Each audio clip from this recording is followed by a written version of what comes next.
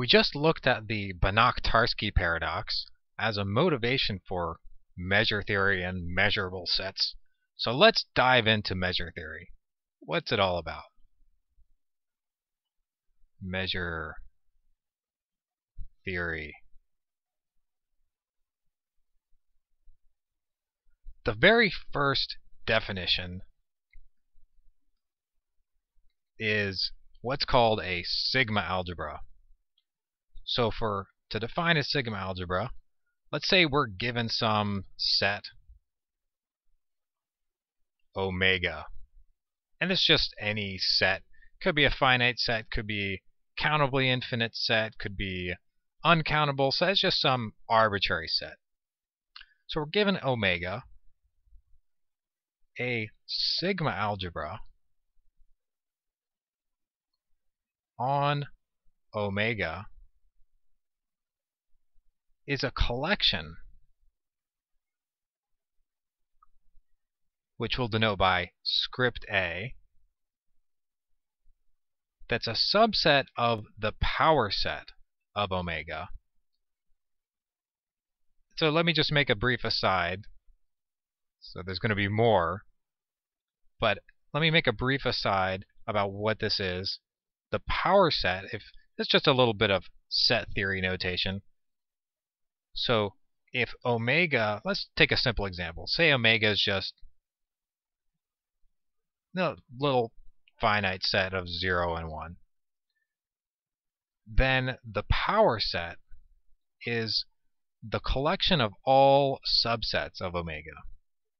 So it's a collection which is also a set containing the empty set the set with 0, the set with 1, and the set with both 0 and 1.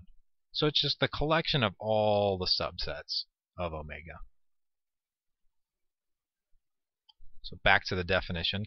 A sigma algebra on omega is a collection of subsets of omega such that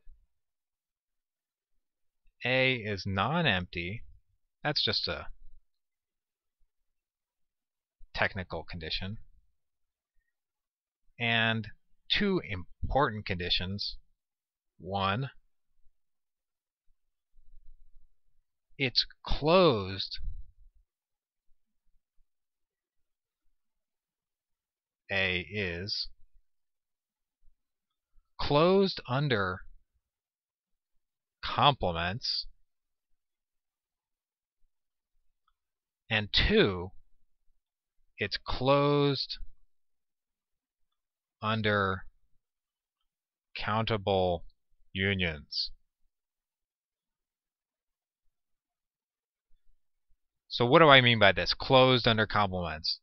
This is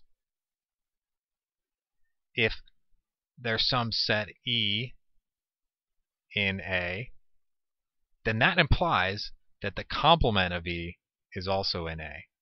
And the complement, that's just all the stuff that's not in E. All the stuff in omega that's not in E. So the complement of the set 0 would be the set 1. It's also closed under countable unions. What do I mean by this? That means if I have a countable collection E1, E2, some sequence of sets. Countably, it's countable, let's say it's countably infinite, E1, E2, E3, up through even infinity, all members of A, that implies that the union of all of them is also in A. So it's closed under countable unions. take that defini definition in for a second.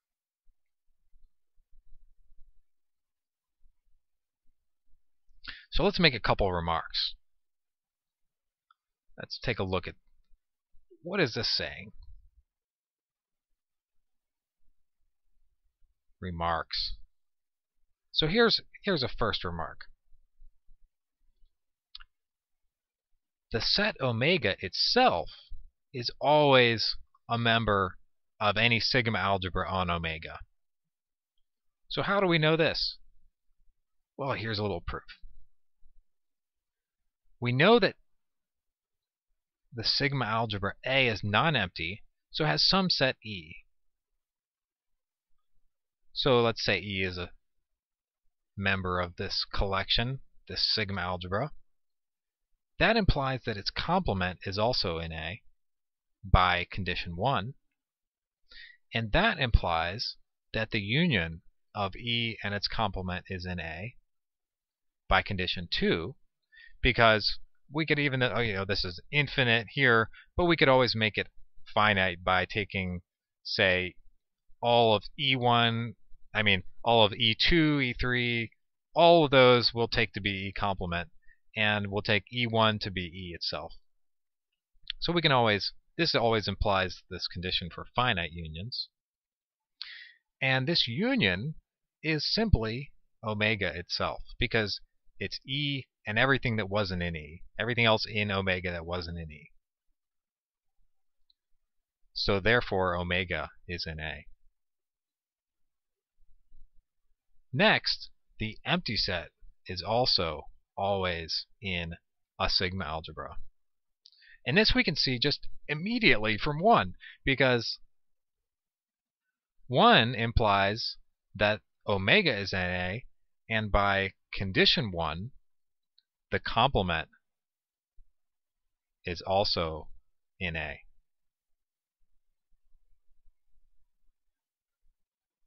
And the complement of omega is simply the empty set.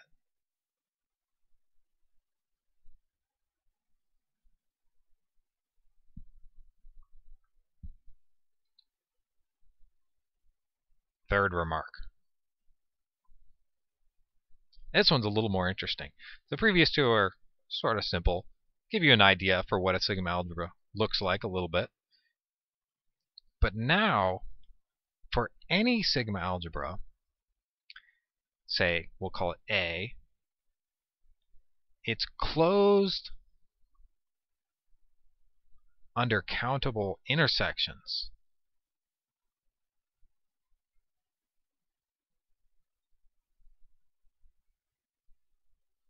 Now you remember condition 2 said that it was closed under countable unions. This one's closed under countable intersections.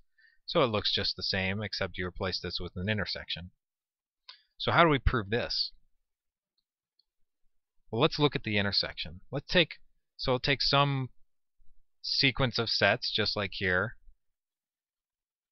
So suppose we have some sets, E1, E2, some sequence in A.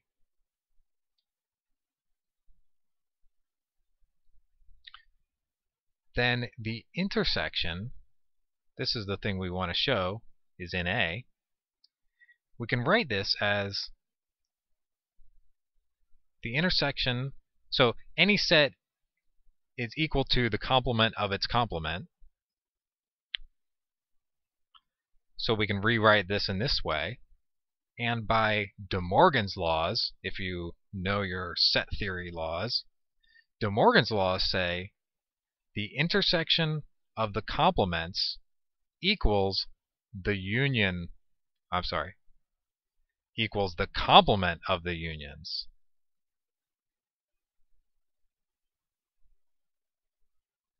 The intersection of the complements equals the complement of the unions.